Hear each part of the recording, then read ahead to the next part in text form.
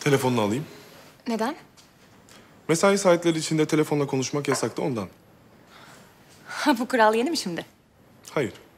Sözleşmede yazıyordu. Keşke okusaydın. Ee, nasıl haberleşeceğim insanlarla? Annem babam bana ulaşamazsa yani delirirler olmaz.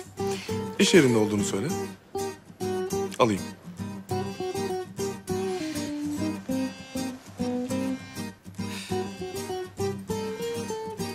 Ee, niye bitmedi hala bu paspas?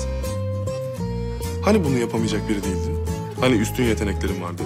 Senin gözlerde bir bozulma falan başladı galiba. Baksana yerlere. Bak cam gibi. İyi. Bir an önce bitir o zaman. Hadi Pelin hadi. Daha hızlı. Birazdan müşteriler damlar. Oo temizledim her yere bastın. Pislettin yani sağ ol. Çok ıslak yapıyorsun da ondan. Sık biraz, sık. Bu kadar sulu yaparsan insanlar kayıp düşer. Sabret. Yepyeni bir teknik geliştirdim. Pelin Style. İzle ve gör.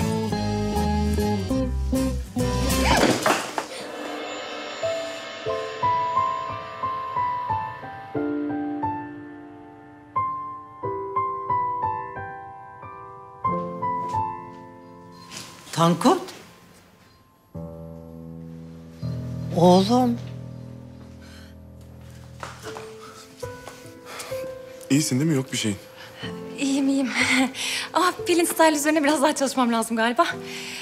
Önce şu ayakkabılarını değiştir istersen. Onlarla kuru zeminde de düşersin.